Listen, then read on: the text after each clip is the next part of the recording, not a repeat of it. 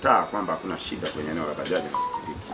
Namba moja, lakini namba mbili, sio kwamba hatufanye kitu kwenye hilo eneo, lakini namba tatu, si sawa kwamba tuvunje sheria sisi wa magari wa daladala kwa sababu bajaji wanavunja sheria. Sisi tufanye upande wetu wakati tunaendelea kufanya suluhu ya tatizo hili la bajaji na, na, na pikipiki hasa la bajaji, tufanye upande wetu na suluhu. Mimi nimetoa wewe, baadaye ya kukaanga mafuta yako kwenda Igoro wakati una abiria, njoni hapa baadhi ya watu baadhi, ili isiwe ni gari nyingi ambazo lazima ziende Igawilo, baadhi ya magari yaishie yaishie Mwanjero. Kama kuna ambao wanaweza kuendelea kwenda kuishia Igawilo, wawepo wanaenda Igawilo, lakini vinginevyo tupunguze ile tatizo ambalo tunalo kwa sasa. Tusivunje sheria kwa sababu watu wengine wanavunja sheria, lakini sio kwamba serikali imenyamaza kwamba kuna kitu nafahamu. Ni na kwa watu wa bajaji hakuhararishi watu wa daladala kuvunja sheria, hakuhararishi kabisa kwamba kwa sababu bajaji wamevunja sheria basi na sisi wa daladala tuvunje sheria. Mimi naomba tutii sheria wakati tunaendelea kushughulika na makundi haya yote. Sisi wa daladala tuendelee kutii sheria, hiyo ni muhimu sana. Lakini wakati huo huo tulieni, msio na munkari. Wakati huo huo ukiona kwamba hiyo njia haikulipi, tumeshatoa mapendekezo kwamba mimi naona hii njia kwenda kutoka Igairo mpaka Mbalizi hainilipi, kila nikifika Kabwe sina abiria. Tufupishe hizi njia, wawepo wanaoanzia Mbalizi kuishia Kabwe na wapo wanaoanzia Mbalizi kuishia Mwanjero na wapo wanaoanzia e, Igawilo au Salaga kuishia Mwanjero. Muhimu hiyo. Karibu mtu mkia malalamiko mengi sana kutoka kwa abiria ambao wanashushwa njiani kabla ya kufika mwisho wa eh, mwisho mwisho wa njia. Kwa mfano tumekuwa tunapokea malalamiko mengi sana ya abiria wanaoshushwa Kabwe baada ya kufikishwa Igawilo ama Mbalizi. Kwa hiyo nitoe rai kwa wamiliki eh, wa mabasi ya mjini maarufu kama daladala wasimamie madereva wao watii masharti ya leseni, na mojawapo ya masharti ya leseni e, za usafirishaji zinazotolewa na LATRA ni kuhakikisha hawakatishi njia zao, namba moja. Lakini namba mbili, kuhakikisha wanatoa tiketi kwa abiria. Tiketi kwa abiria ni muhimu kwa sababu abiria anaweza kasahau kitu chake kwenye gari, lakini kuna abiria wengine huwa wanaenda kurudishiwa hizo nauli kwenye ofisi zao. Lakini namba tatu, wahakikishe wanatoza nauli zilizoridhiwa na kupangwa na mamlaka, wasijitozee nauli zao wenyewe. Namba nne, wahakikishe madereva wao wanavaa sare safi na nadhifu. Kinyume na hapo, mamlaka ikichukua hatua isilaumiwe. Kujitambulisha, mimi ni RTO wenu wa Mbeya.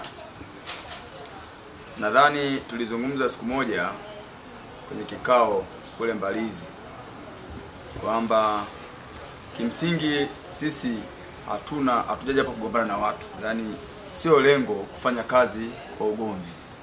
Ni furaha sana kama kazi za serikali zinaenda, lakini na mahusiano pia yanaenda. Mnakaa sehemu mnakaa baada ya kazi mnaongea, mnashiriki kwenye mambo ya kijamii, lakini baada ya jambo la msingi kwanza la kazi. Ndugu zangu, kwenye mambo ya utendaji kuna nafasi mbili. Kuna nafasi ya, ya maisha yaendelee kwenye biashara na kuna nafasi ya usimamizi. Sasa kila mtu hapa ana, ana, ana interest zake.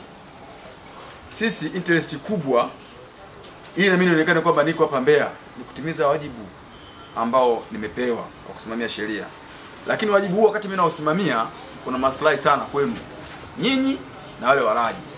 Hapa si tuko wasimamizi, nyinyi mko wenyewe watu wa huduma, lakini kuna kundi jingine la wale walaji ambao lazima tuwazingatie sana.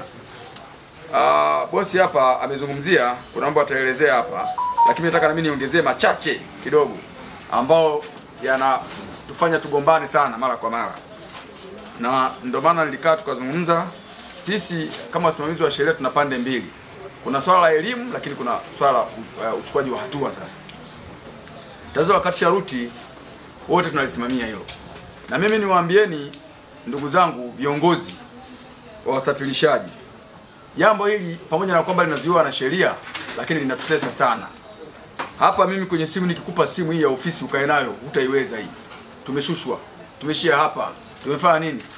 Mimi sio sehemu ya biashara kwamba labda kuna maslahi napata kuna hesabu napata lakini mimi wanajua wote hao wananchi. Ni wajibu wangu kuwasimamia wao. Kwa hiyo mimi unavyoona nakuwa mkali kwanza natimiza wajibu wangu lakini pia watu wanalalamikia yani simu ya ofisi haitulii malalamiko ni mengi. Gari hii tumeishia sasa hilo lazima tulielewe. Lakini kuna jambo nilizungumzia kidogo la kuovertake. Overtake hatarishi ina madhara makubwa. Sio kwako. Na bahati mbaya sana mimi msimamizi wa sheria nakuwa niko ofisini. Na nyinyi mko ofisini amui barabarani hata ikitokea ajali nyinyi ambao mna, mnasimamia sisi ambao tunasimamia nyinyi na sisi tunasimamia tuko huko hatupati yale madhara moja kwa moja. Lakini mimi pamoja kwamba sipati yale madhara moja kwa moja kuna madhara ambayo yanapata na yazidi nyinyi. Mimi kitokea ajali hapa nauliza kwa nini hilo gari linaingia mtoni hapo Iwami? Kwa nini? Sasa mimi nipo ofisini wala sipati hesabu ya zile hela kwamba naletewa mimi kwamba ni mmiliki sio sehemu ya mmiliki wala nini. Lakini ni mtu wa kwanza kuulizwa. Nitaulizwa na makao makuu nitaulizwa na kamanda hata wananchi watapiga simu. Bwana Latio vipi? Pole. Hakuna kiongozi hata mmoja anapigiwa simu sisi Sumbawanga Lindi huko. Bwana Latio huko? Nani bwana kuna nini? Kwa hiyo unaona vitu hivyo. Kwa hivyo vitu ndio vinatufanya sisi tunakuwa wakali kufuatilia swala la overtake hatarishi. Iwambi Simike imekuwa kero kubwa.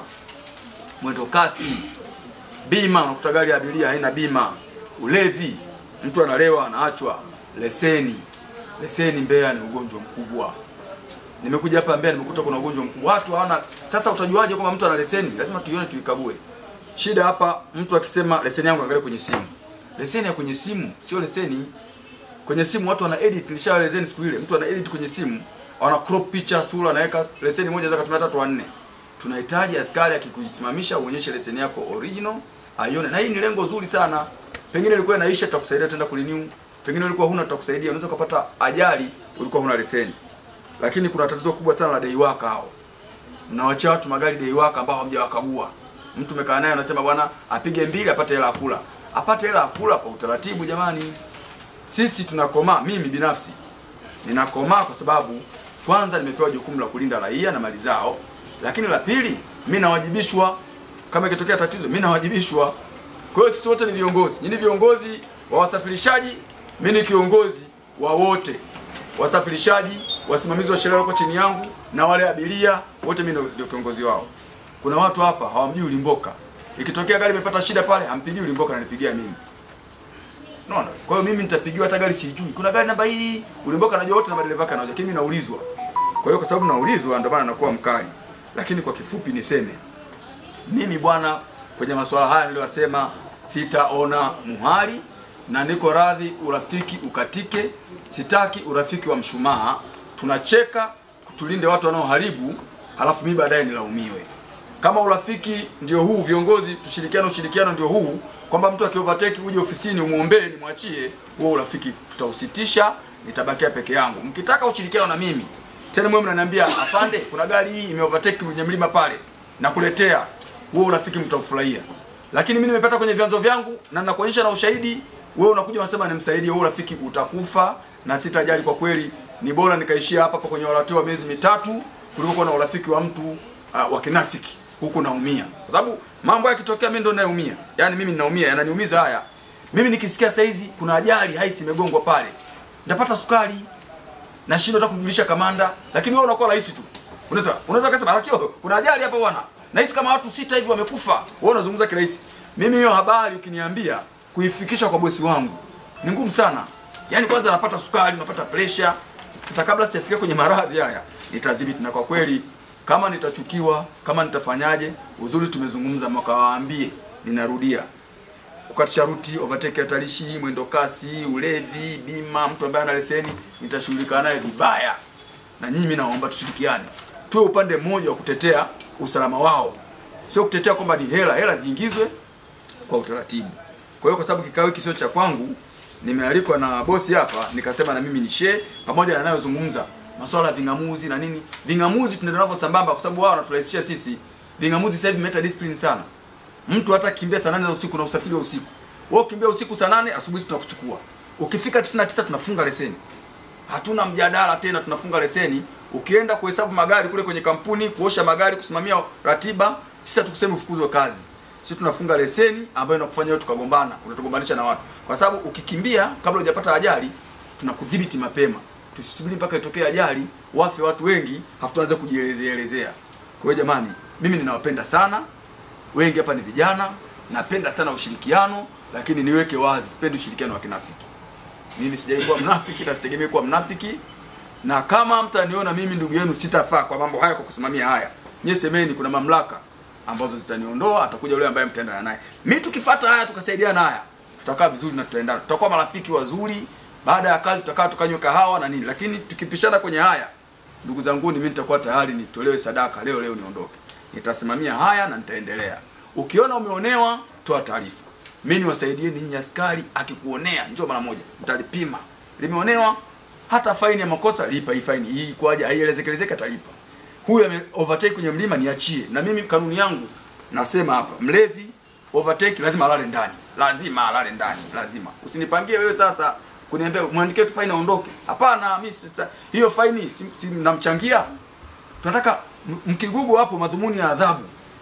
Kwanza kutia deterrence, hofu specific na general. Hofu kwa mtu binafsi, hofu kwa jamii. Jamii ya madereva ielewe, ukiovertake iwambi umekwisha talala ndani.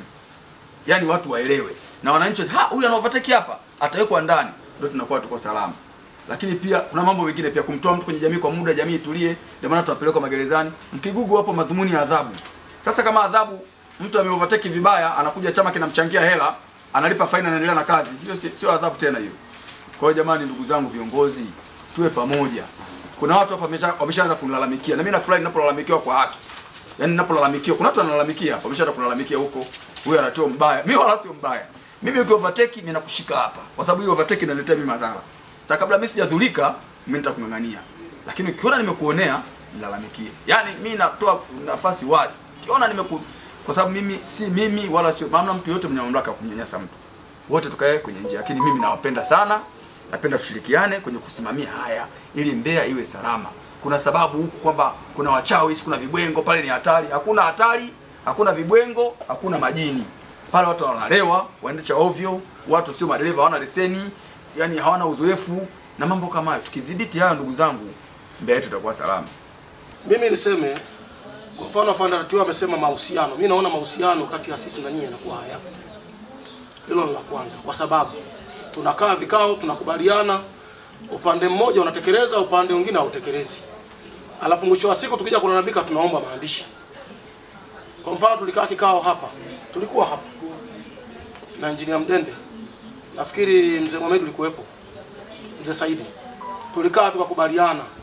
Lakini mwisho wa siku wewe umekwenda kuzipiga faini gari zetu bila taarifa, na kikao. Tulikaa hapa na tulikubaliana na kina maandishi, lakini yale maandishi umesema wewe kama huyatambui kwa sababu tuliandika sisi, na wakati si viongozi tupo, kama kuna marekebisho turekebishe, na sisi tuseme asilimia kama ni asilimia mia, asilimia sabini na tano sisi tumeifanyia kazi kwa upande wetu, lakini kuna sekta nyingine ambayo nyinyi wenyewe hamjachukua hatua.